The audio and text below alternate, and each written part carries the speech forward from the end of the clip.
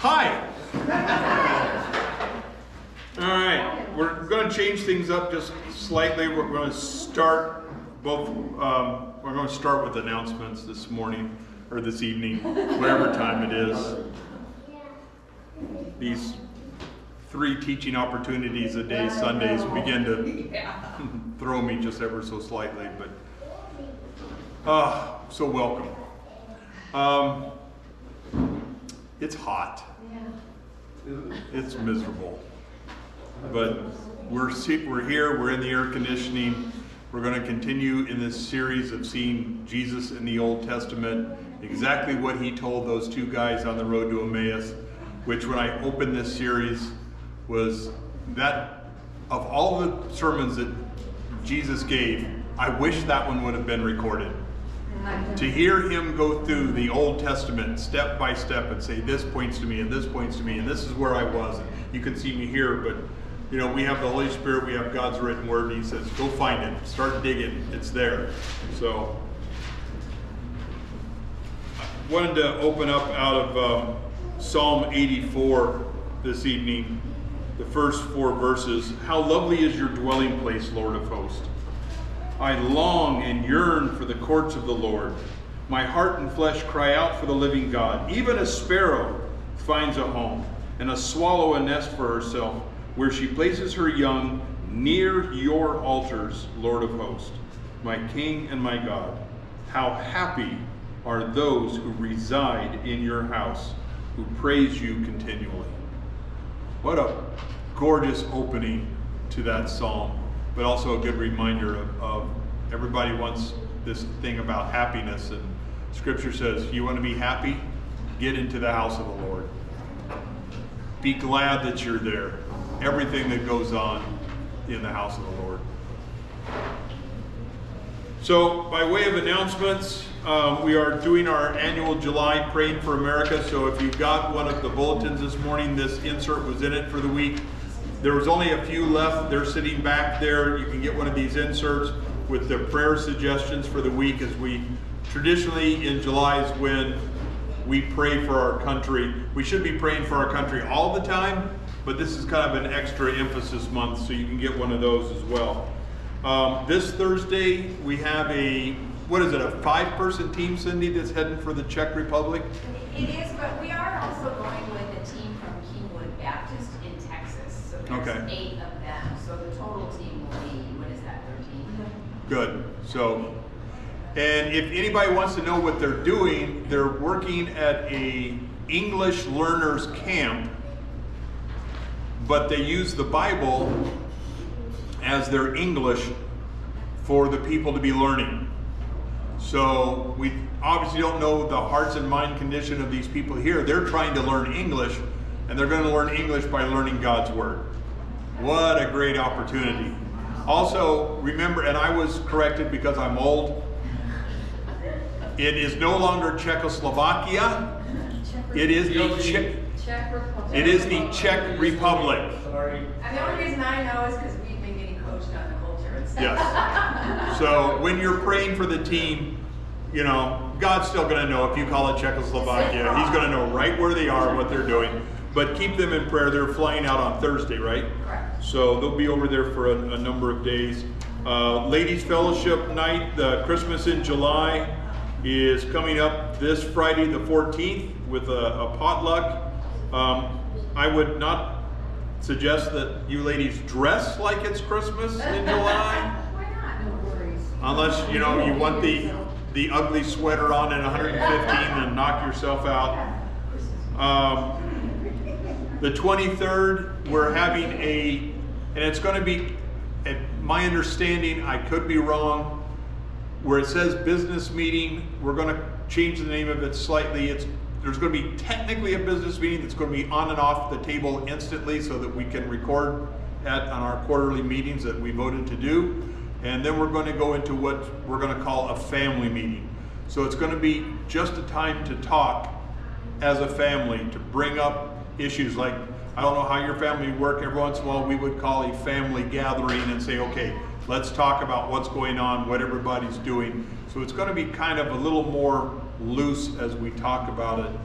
unless there are some things that have to be voted on, but I'm just not aware of that at this point. So, I think the. What's that? um, Nomination committee is Yeah. trying to have nominations for a couple.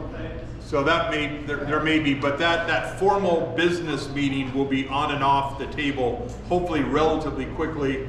And then we're just gonna have a discussion of where we are as a church, where we're going, what's going on, what's happening, because what we don't want is the rumor mill floating around out there everywhere. So we want to make sure that everybody has an opportunity to come in here. Here's what we're doing. Here's what's going on. Here's who's doing what. Because obviously we've had some major changes occur.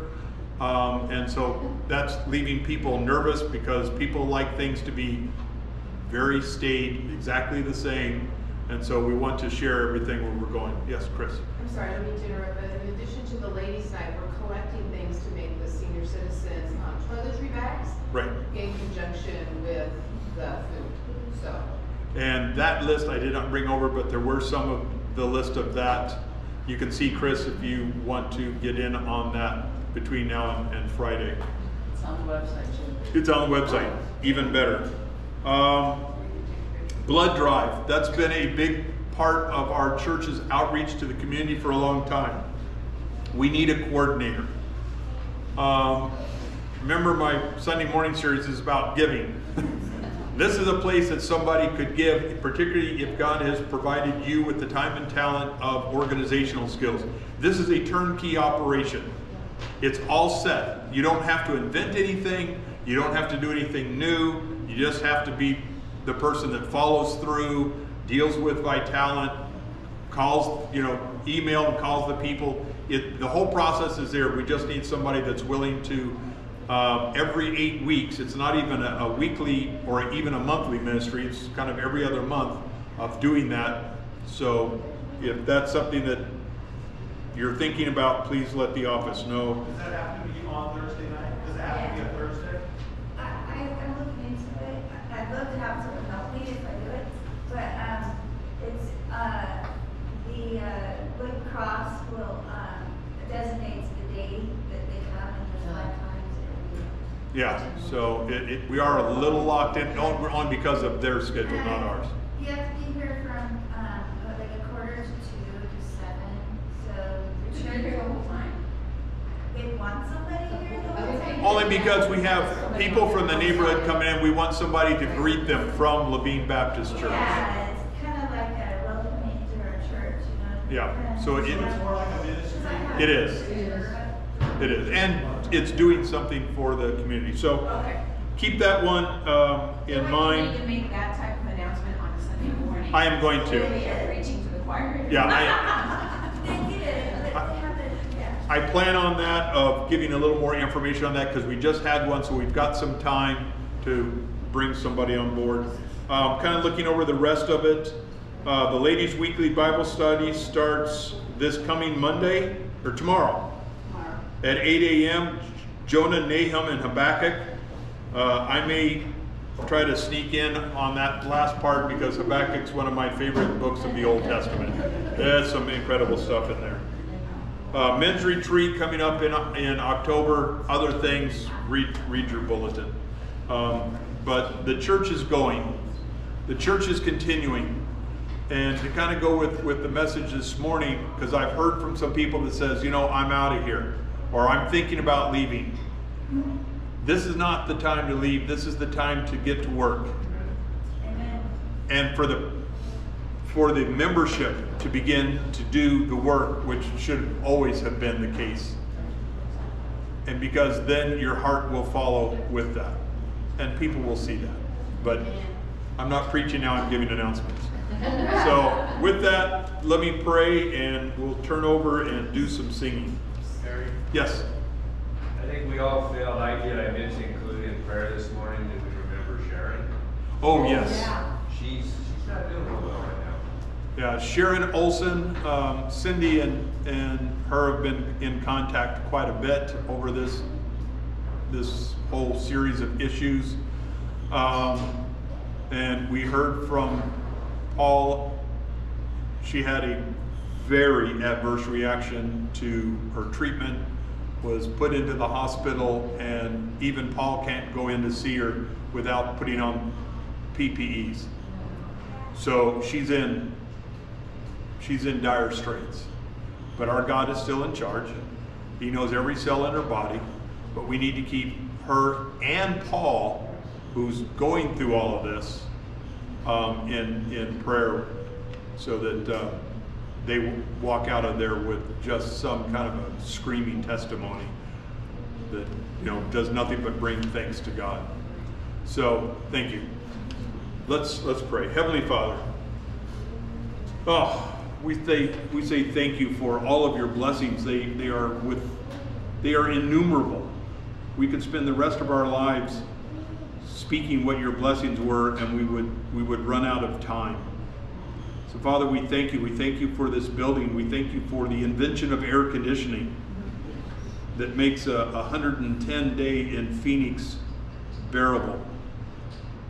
But Father God, we thank you most for the ability to gather together freely to hear your word, to worship you, to jointly come together as a family from many different backgrounds and everything else as one people before one God to say thank you.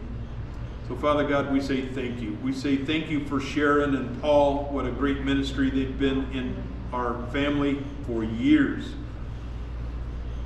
Father God, we, we're asking for your hand of mercy in this situation. But even more so than that, we ask that your name be praised in this situation. To us, it looks impossible. But you are a God to whom everything is possible. So, Father God, we commend Paul and his heart and his strength and his mind as he's dealing with the stress of his spouse in this situation. Father, I know as, as, a, as a man and a husband, my job is to protect my wife, and we get in situations like that and we find that we are powerless. So I pray for Paul. Father, I pray for his wife as she's dealing with this life destroying disease. But Father God, you have her in the palm of your hand. You know every cell in her body, you know where every cancer cell is. And so, Father God, we're turning over all of that to you. We're asking for her healing because we don't know what your plan is. But Father God, we, we bow at your throne. Offer Sharon up, your child, into your hands. Ask for her healing that she may be rejoined to us as a family. But Father God, whatever your plan is, let your name be praised. For that is what is important. We thank you for all of this. In the name of your Son, Jesus. Amen. All right, church. Um, so we have the numbers of the songs we'll be singing up to your left 35, 45, 199. I thought I were, I thought God was sending me my lottery ticket numbers, but then we changed it, and now that was from God. I won't have one again. But let's try. Uh, let's sing page 35 of this hymn. Okay, we're using this one. And let me scoot back.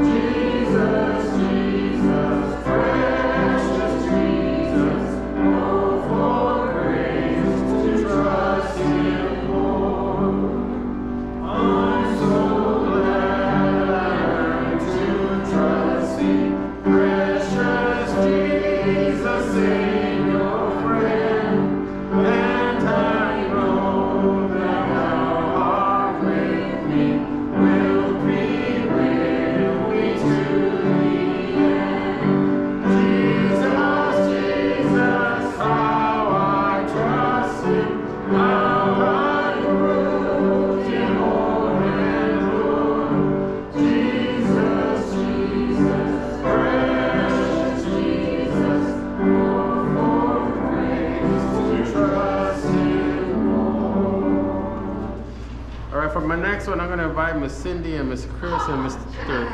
Andy to come over here. Come on, Cindy. Come on, Chris. You can't sing this one, you need They know what they do. Come on, Andy. Or God, works right there. This one is a new one for me, so I'm trying to learn it. It's page 45. When I survey the wondrous cross. Aaron, well, there's something. Come on. Hearts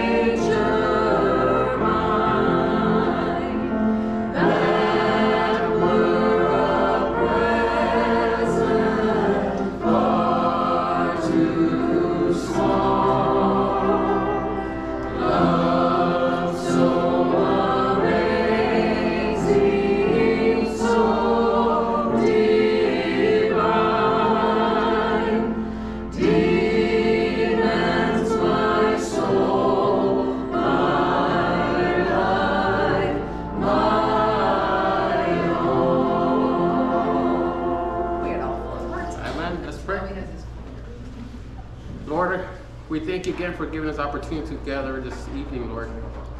We had a great message and just a great time just being able to worship you this morning, Lord. And the same, we have the same joy this evening as well, Lord. And just prepare our hearts and our mind as we listen to today's sermon. In your name I pray. Amen.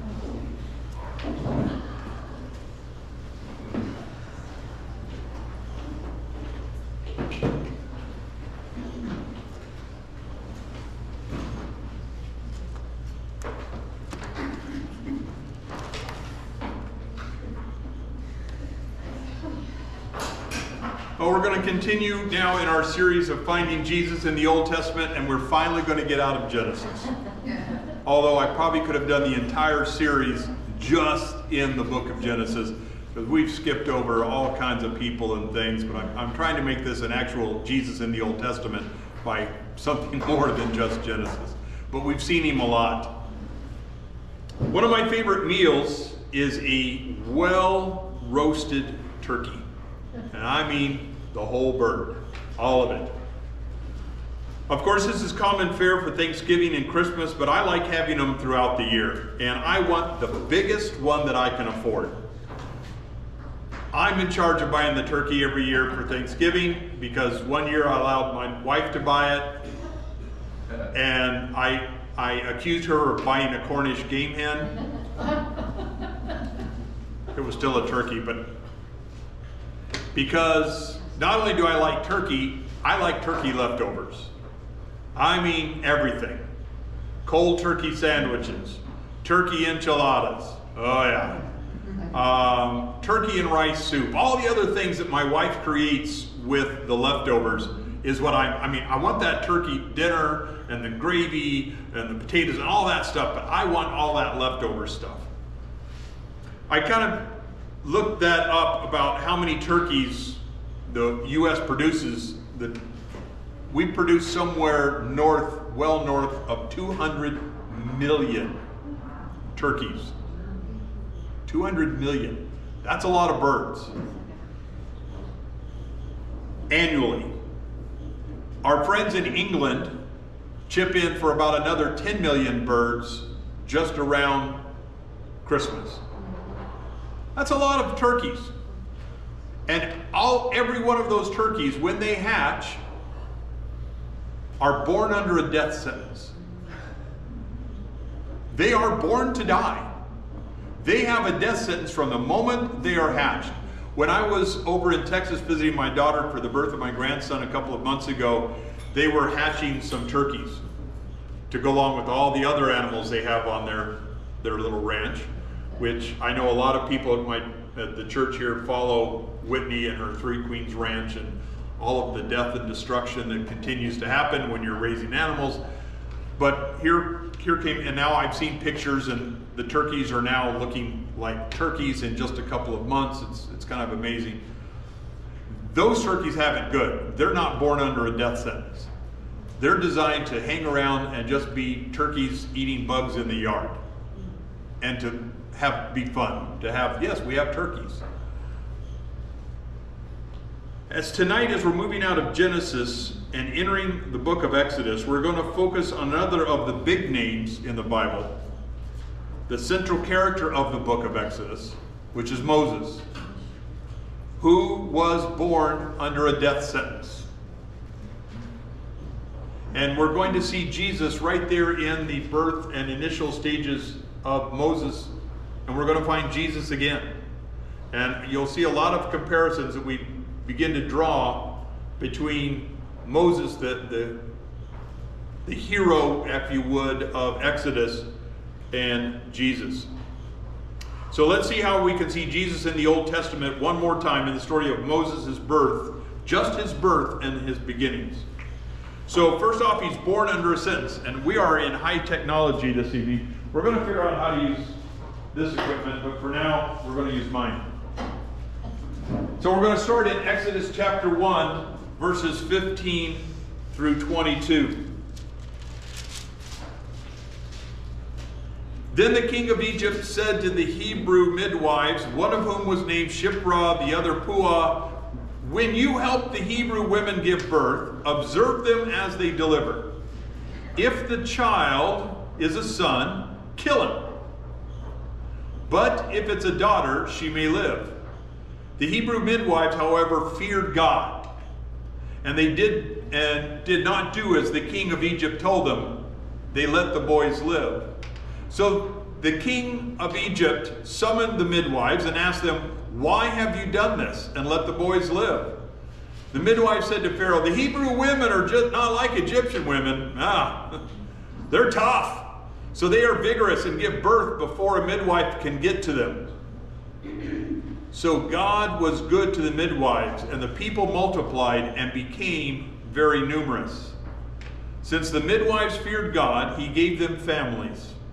Pharaoh then commanded all his people, You must throw every son born of the Hebrews into the Nile, but let every daughter live. So Moses is born under a death decree. Pharaoh is having a problem. As we read in our opening passage, The Pharaoh at this particular time, who apparently wasn't a real student of history, or he would have known what the Jews had meant to the saving of his own people, he begins to feel threatened by the growing number of Hebrews living in Egypt. He surreptitiously orders the death of all the newborn Hebrew boys at the hands of midwives, but that didn't work out so well. Again, kind of going back to my daughter over in Texas, we were there for the birth. We had scheduled it. Usually, Whitney is, well, she's always fast. When I say fast, I mean like, oh, I'm having a baby. Boom, here it is. None of this hours and hours of, of stuff. So her due date was about a week or so before we got there, and we thought, okay, we're going to get there after the baby's born and then kind of help her with this brand new baby and do stuff for her. But we got there, and we're there for a couple of days, and she began to freak out. Oh, you're going to have to leave, and I'm not having this baby. And then Saturday morning rolls around. She's going to have, she's planning on having the baby with a midwife at a birthing center. She calls us early in the morning and says, I, I'm feeling the contractions. You better head this way. I jump, Cindy says, jump in the shower real quick. I jump in the shower. I'm getting out. And Whitney calls and says, my water just broke. Come straight here. Absolutely. So we're down out of our hotel in the car and flying down the highway to her house. Just as we leave the little town of Decatur, heading on the highway, it's about a 10 or 15 minute drive out into the country where she lives. We get another phone call from Nick saying he's here. we got there his car is running, the doors are open because he was preparing to grab his three daughters, load them up, and take Whitney to the birthing center. But before, as, as he's loading them up and he comes back in, and I've got this picture of Whitney holding up her son in the bathtub. He's here. We beat the we beat the midwife. By the time the midwife got there, everything is obviously done. Um, and so there was my grandson, born without the midwife, just there. That's what these ladies are claiming, that the Hebrew women are like my daughter Whitney. Man, when it's time to have that baby, we, we can't even get there before they before they have the birth. So now what does he resort to? He resorts to government intervention and he orders all the newborn Hebrew boys thrown into the Nile River. And if you read it here, it says he's speaking to all of his people. This is a decree going out to everybody. If you know of a Hebrew baby, you make sure that thing is drowned. A Hebrew baby boy. This is something we see repeated throughout time that earthly governments will stand in opposition to God and His plan and will foolishly try to enact laws and decrees against it. Our own country has tried that. Stand by. They're going to try it some more. They can enact all the laws and decrees against God's plan that they want, but they've, they've gone in opposition against a power that they can't even begin to understand. Amen. So Moses' birth happens, but his mother has a plan. Turn on over to Exodus chapter 2, verses 1 through 4. Now, a man from the family of Levi married a Levite woman. The woman became pregnant and gave birth to a son. When she saw that he was beautiful, she hid him for three months. But when she could no longer hide him, she got a papyrus basket for him, coated it with asphalt and pitch. She placed the child in it and set it among the reeds by the bank of the Nile. Then his sister stood at a distance in order to see what would happen to him. So his mom has a plan. She's given birth.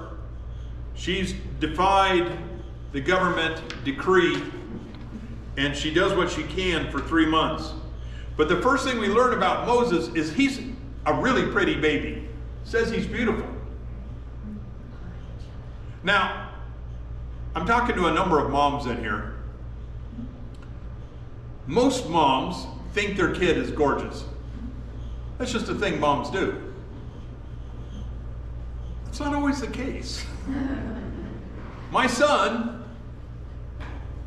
who is a strapping former Marine, now Army Sergeant, currently serving over in, in Romania when he's not playing Avondale police officer, was not a good looking baby.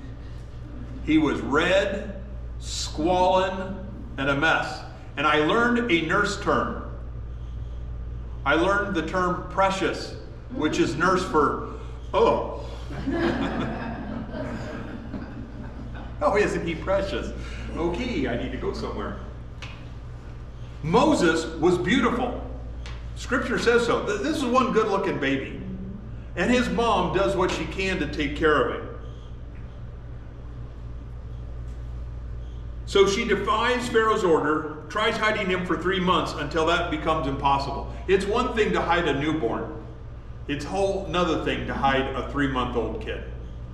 They're making their once known. They're much more of a handful even than that brand new newborn. And so she complies with the order of Pharaoh. Sort of. Does she throw him in the Nile? Yes, she does.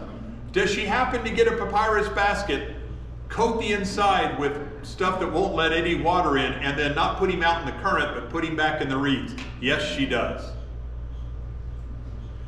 My guess is she might have been thinking something like, okay, God, I'm doing what I was told. I'm obeying the government like I was told. Now I'm depending on you to protect my son, my beautiful son. This is one good looking boy.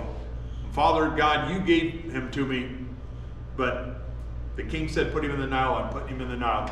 And then he posed his sister, who we later learned her name later as Miriam, to stand off in the distance and watch to see what will happen.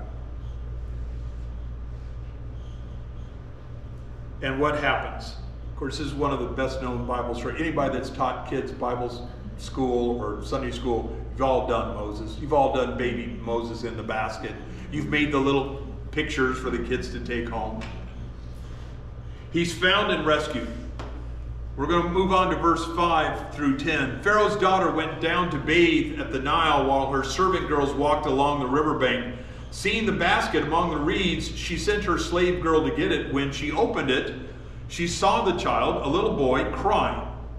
She felt sorry for him and said, This is one of the Hebrew boys. Then his sister said to Pharaoh's daughter, Should I, uh, should I go get, call a woman from the Hebrews to nurse the boy for you? This is one sharp girl. She's thinking. Go, Pharaoh's daughter told her. So the girl went and called the boy's mother. Then Pharaoh's daughter said to her, Take this child, nurse him for me, and I will pay your wages, the wages for a wet nurse. I'm going to pay you to take care of your own son. I love the way God works stuff. So the woman took the boy and nursed him. When the child grew older, she brought him to Pharaoh's daughter, and he became her son. She named him Moses because she said, I drew him out of the water. So Moses is found and rescued. In God's perfect providence, Pharaoh's daughter and her entourage come down to bathe in the river, see the basket, find the baby crying. She recognized that he was a Hebrew. We don't know how she recognized it, but he is a boy. He is three months old. And if and they are Levites, if he's following the law, what has happened to this boy? He's been circumcised. A lot of Bible scholars think that that may have been what she saw when she saw this baby. That, oh, this is a Hebrew. I can tell right off. We don't know that. That's that is supposition. All it says is she knew that he was a Hebrew. If you watch the Cecil B. DeMille movie, he's wrapped in a cloth that has the blue and white edging to it, and they recognize him from the cloth. That's as plausible a story as, as any. But she said, This is a Hebrew boy. She knows what her father has decreed, but she sees a crying three month old little boy, and her compassion comes out. Enter his sister, one sharp young lady who offers to get a Hebrew woman. I'll go get just some random Hebrew woman, princess.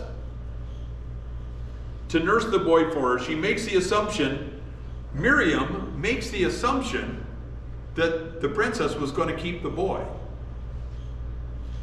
We don't see any of that in the act of the princess at this point. But she makes the assumption I go get somebody to nurse him for you? And now all of a sudden you can almost see the wheels turn in her head. Oh, nurse it for me. Yes. Yes. I can have a son. Yes. The gods, I know what she would have been thinking. The gods have provided me a son right there in the Nile, and the Nile meant everything to the Egyptians.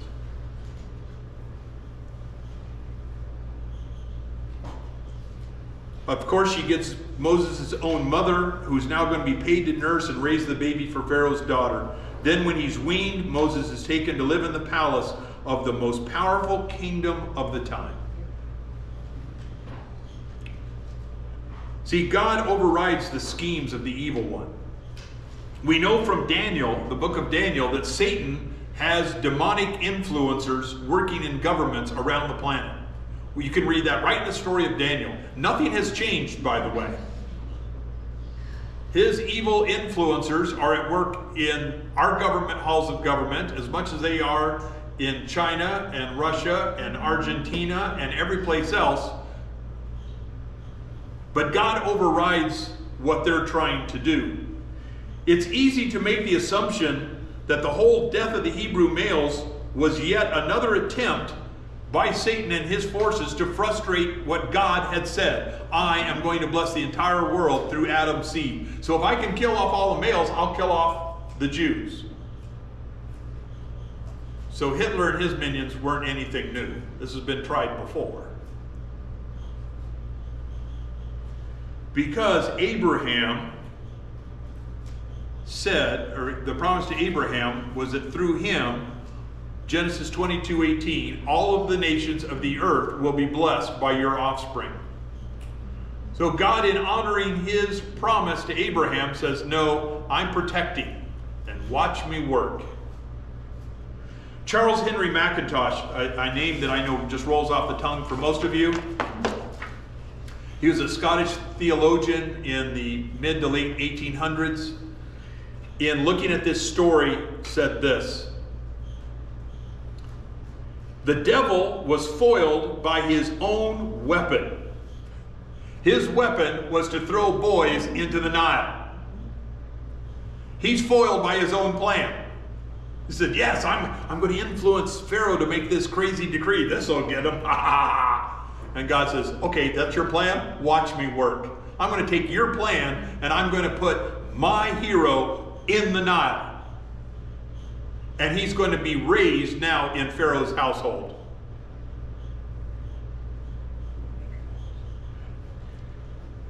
Mackintosh goes on to say, Inasmuch as Pharaoh, whom he was using to frustrate the purpose of God, is used of God to nourish and bring up Moses, who was to be his instrument in confounding the power of Satan. So Mackintosh, I said 100 and what, 140 years ago now, looked at this story and got it right said, man, God uses Satan's own plan to bring up his hero. We have to remember that only God is omniscient. Only God is all knowing. Satan is not. Satan makes plans and he has no idea how they will turn out because he is not all knowing. None of the demons, None of the angels know what is going to happen. That's why the angels stand in amazement at things happening. They're as surprised as we are. Satan can make all of these devious plans, and he's all he can do is hope that they turn out the way he figured. Now he tells the same lie over and over again because it works really well. But when he makes these big plans to frustrate God, he doesn't know if they're going to work, and here it doesn't work again. Moses was born to be a savior. The child who had been doomed to death by Pharaoh's decree was destined to be the very instrument of Pharaoh's destruction. So that, as it says repeatedly in the book of Exodus, they will know that I am the Lord their God. God frustrates Satan's plan for the purpose of people knowing who he is. God's plan was that Moses was to be his instrument to save his people from their bondage in Egypt and take them back to the promised land that he'd shown to Abraham and to show the rest of the world just who he is. So that's a great story. So many of you that have worked with kids, you've told that story. You've made the crafts. You've sent home the little baskets, all that stuff. But we're seeing Jesus in this. A number of you are probably already beginning to see Jesus. See, Moses was a savior, but he wasn't the savior. He was a prototype of the savior that God had promised way back in the Garden of Eden to Adam and Eve. The, the, this promise in Genesis 3:15, I will put hostility between you and the woman, between your seed and her seed. He will strike your head, you will strike his heel. That is known as the proto-evangelium. Yes, there will be a test later. This is the first promise to mankind of a savior. And here is God showing that picture in Moses again. This, this promise, the first time that God promises a Savior, we see that the promise that God has has always, He's always had a plan. Right from day one. He's never caught off guard. He never has to formulate a plan B, if you would. God doesn't have to go, oh, all right, well then we'll do. His plan is His plan, and it doesn't change, it doesn't move, it doesn't waver, nothing. 1 Peter 1 19 to 21. But with the precious blood of Christ, like that of a lamb without defect or blemish, he was chosen before the foundation of the world, but was revealed at the end of times for you, who through him are believers in God, who raised him from the dead and gave him glory, so that your faith and hope are in God. From the beginning of time, this was God's plan. He tells it to Adam and Eve. Remember what was the sentence for Adam and Eve for eating from the one tree? There was only one tree they weren't able to eat from. It was death. He said, You will surely die. And Satan has his whole lie and questions God and all that sort of stuff. But now, when God gives him that promise, known as the, that proto-evangelium, that first promise that you are going, that I'm going to make a, a way out, Eve gets her name. If you study scripture, everybody refers to her as Adam and Eve. She's not Eve until this. Her name is not Eve until after the fall. Her name is not Eve until God makes a promise. Because in Adam and Eve's mind, they were dead people walking. And God says, Here's my promise. They're going to strike that serpent's going to strike his heel and he's going to crush that head. Adam believes God. That's the only word from God that he had. And he names his wife Eve. If you know what her name means, it's the mother of all living. Adam now knew he was going to live because of God's promise. His faith in God's word was the faith that ended up saving Adam. He didn't have all of this God's word that we have. He had one promise. And he said, I believe that. And we know he believed it because he turns to his, his woman. How is her name? Woman. And says, Your name is Eve. You are the mother of all living. Because what God just said, we are going to live. He's got a plan. Jesus is the Savior, the coming one, promised to Adam and Eve way back in Genesis 3.15. Moses was a designated savior to his people. Listen to Hebrews 3:3. For Jesus is considered worthy of more glory than Moses. That was almost blasphemy to the Jews. Moses was the guy. He's the one that brought us out.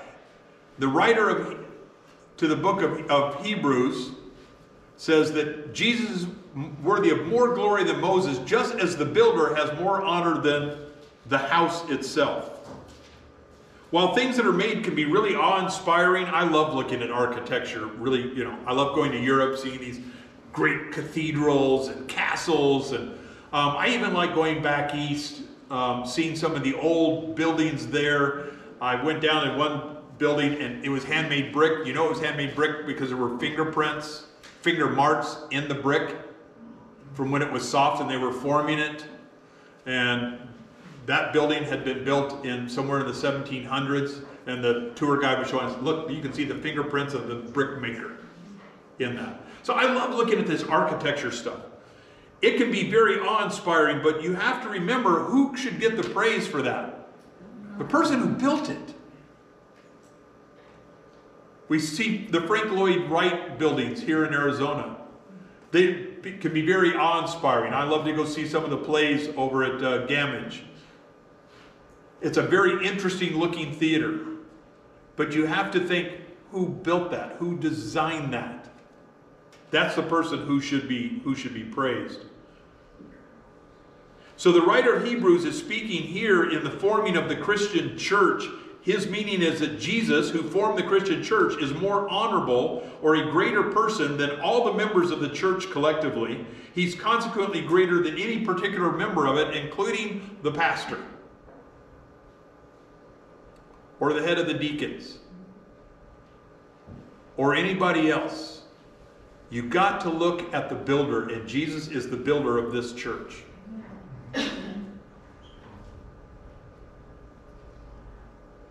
Some of those people may have raised money for a building, implemented a series of programs that entice people in the doors, but the builder, designer of the church is Jesus. And that's who gets the praise for Laveen Baptist Church and for the church as it exists globally.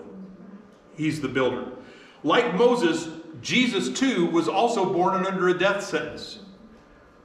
Remember his birth story. Herod the Great felt threatened about the prophecies of a coming king of the Jews being born in Bethlehem, so he ordered the death of all the baby boys in the region, not just in the little village of, Abra- of, of Bethlehem, but in the entire area. He threw a wide net, kill them all. I don't know where this little boy is, I want them all dead. But like Moses, he was saved from the slaughter. He was born to save his people, and nothing could stop God's plan. If you know the story well, Joseph, Mary, the toddler, Jesus escaped to somewhere in Egypt. We don't know exactly where it just says Egypt. Um, I've kind of studied that out. The nearest Egyptian village from Be- Bethlehem was only around 40, 50 miles away. It could have been there. We don't know. But he goes into the land of Egypt to escape the control area of Herod. In recounting this story, Matthew applied the statement about the exodus of the children of Israel in Hosea 11:1, you can look that up at home later, to Jesus in Matthew 2:15. He stayed there until Herod's death so that what was spoken by the Lord through the prophet, that would be Hosea, might be fulfilled. Out of Egypt I called my son. Exactly like Moses, born under a death sentence, coming out of Egypt, saving his people. Do you see that correlation? We can see Jesus in the Old Testament in the life of Moses, just in his birth. There's all kinds of other stories, and we're not going to stop there as well. We're going to go into other books of the Old Testament as we as we continue this series during the summer. But just here in his birth, we see Jesus again. In his deliverance from a violent death in infancy and his years of quiet training, in his willingness to leave the palace of a king, to deliver his people from bondage, in his meekness, his faithfulness, his commitment to finish the work God gave him to do, Moses was a picture, a picture of the better Savior that was coming. He gave the people kind of a living word picture of a Messiah that was coming that was really going to save them. But as a picture, Moses fell really short of the actual Savior. Moses sinned under provocation. Not that that's an excuse. Well, I was provoked. He murders an Egyptian over some harsh treatment of his fellow Israelites. Moses flashes that same temper a few other times during the story. If you know the story of the Exodus, Moses flashes that temper a couple of times, and it's one of those times that keeps him from going into the promised land. God says, okay, that's enough. You're done. But Jesus was without sin. Remember, Moses is just a prototype. We're seeing Jesus in the Old Testament. 1 John 3 5. You know that he was revealed so that he might take away sins, and there is no sin in him. Not a little bit. Utterly and completely without sin. Not even a single wayward thought. Y'all ever had a couple of thoughts? Maybe while driving, that's when I have my wayward thoughts usually. Plus, with my old career, I'm, I'm trying to find my, my light siren switch, and it's just not there in my minivan.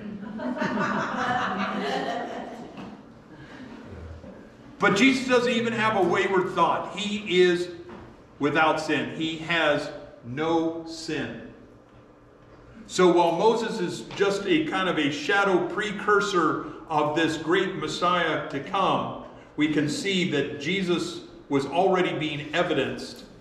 What was coming was all God was already showing the people, this is what's coming. I'm going to give you somebody that's going to give you an idea.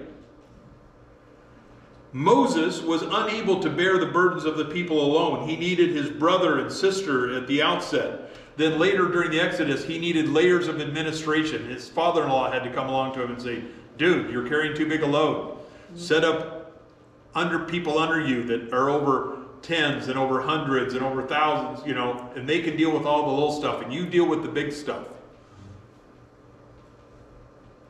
Moses was unable to bear the burdens of the people alone, but Jesus was able to die for all of the sins of all of his people. 1 Corinthians 15 3 For I passed on to you as most important what I also received that Christ died for our sins according to the Scriptures. All of our sins. While Moses couldn't even bear the burden of somewhere around a million people, I say only bear the burden of a million people, Jesus steps up and bears the burden of sin for everybody that's ever drawn breath. Jesus is the better Savior. He alone bore the burden of punishment for the sins of all of humanity throughout time. There aren't any sins that God doesn't know about. There are no hierarchies of sin because they all result in the exact same thing separation from God. I had a discussion with somebody on the phone recently who was reading through a passage in Scripture and talking the passage where it talks about people that were involved in this kind of crime and this kind of sin and this kind of, and it mentioned what um, homosexuals and it said such were some of were some of you. And this person called me up and said well wait a minute. I said look only mankind sees sin as and mainly that's because we want to feel better about myself. Okay i didn't do your sin so i'm better. I did my own but the funny thing is, we, it all ends up in the same place. We all end up separated from God. God doesn't have a hierarchy of sin. We kind of have to to administrate people, but God says, I have one standard, one standard only, and that's me, which is perfection. You meet that, or you're out. But boy, and Christians are horrible about this, about saying, oh, but look at your sin.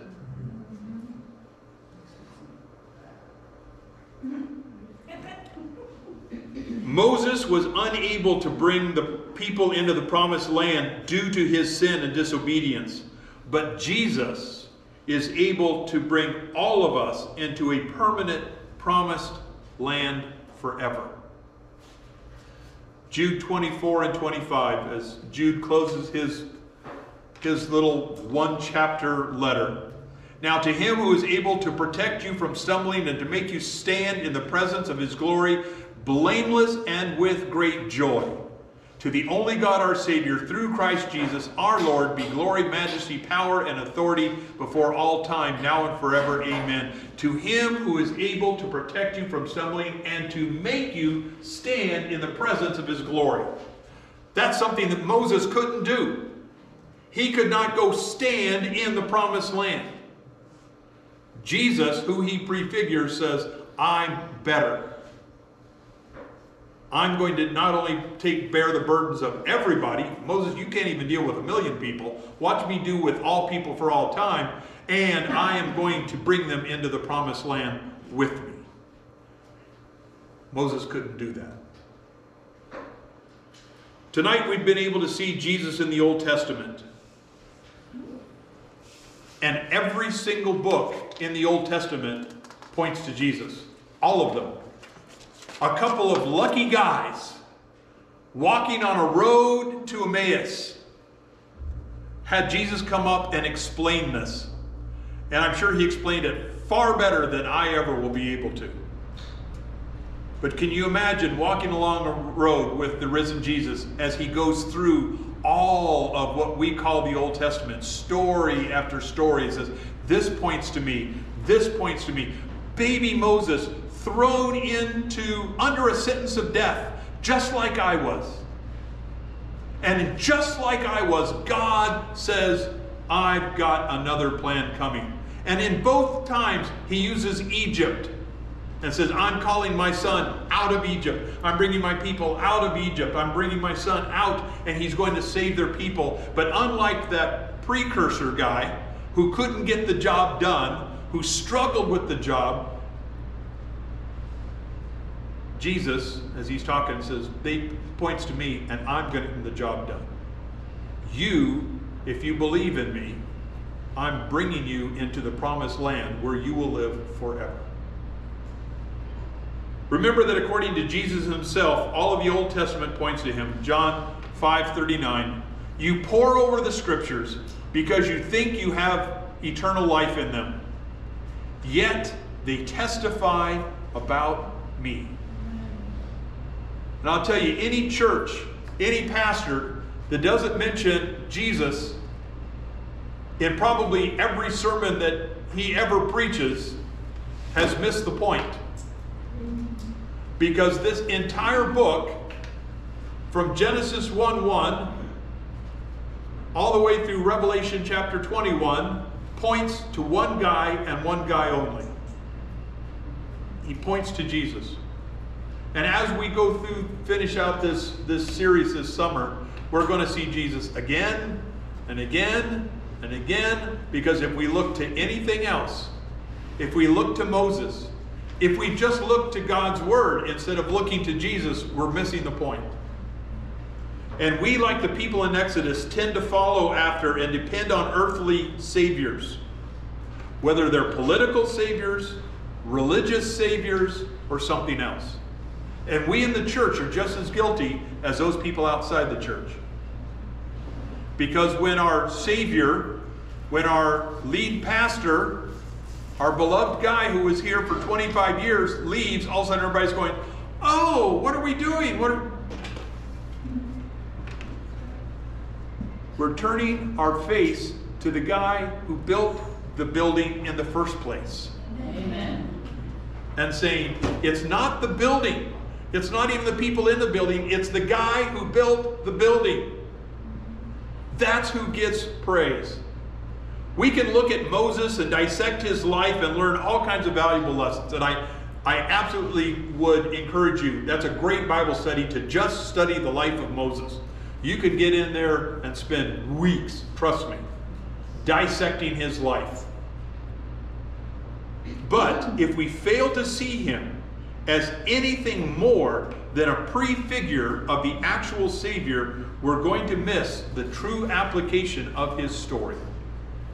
If we see him as anything other than the guy who God sends as a prefigure of the Messiah King to come, we're going to miss what Moses' life was all about.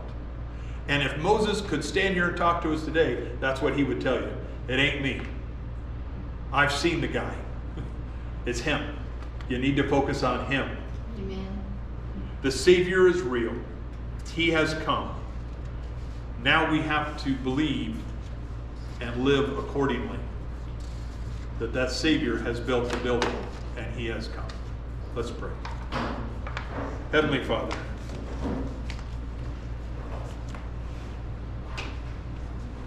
Thank you for your servant Moses. We, we just touched on the beginning, just his birth. That's it. One little small piece of this, this great servant of yours life, just his birth. And Father, in his birth, we see your son. We see that you set up the whole story to give us an idea of what was coming. Father, help us to see your Son in Scripture. Every time we open it, every time we read, let us see Jesus. For he is the builder of this church. He is the builder of the church. And he is the one to be praised. And he is the only one that can bring us into your house, that can bring us into your promised land to live forever, so that we may worship you forever. Father God, we thank you. Thank you for the gift of your Son, Jesus. We thank you for the gift of Moses and his story and how it just points us again right back to your plan, to that proto evangelion, to that, that promise you made to Adam and Eve that you would crush that serpent's head. And because of that, we can live. Father God, we thank you for your word. We thank you that your Holy Spirit has brought it to life in a whole fresh way. We thank you for all of this. In the name of Jesus, amen. Uh, uh, Ophelia, what what was her nephew's name? Yeah, Ophelia's nephew got thrown out of the back of a pickup, and she just found out at three, he's in a coma. So she's. She wanted us to pray, All right, well, let's talk to God right now. Let's don't waste any time. Heavenly Father, oh, Miss Ophelia, she is one of your just great servants. Father God, she calls on your name boldly to her entire family. And her family has suffered so much. There has just been tragedy after tragedy. Father, if, if you're calling this family to you, let them see your hand in this. Let them see your face. Father God, let them see the God of their grandmother, Miss Ophelia, that is a God of love and mercy. Father God, we know nothing other than what we've heard this evening, but we bring this young man to you again for one purpose and one purpose only that your name would be honored and praised for all time.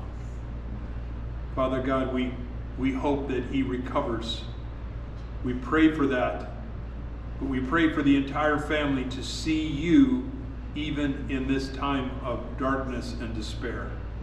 For you are light, and you are the light of this world. You are the light of that young man's life. Father God, we turn this all to you. In the name of your Son, Jesus. Amen.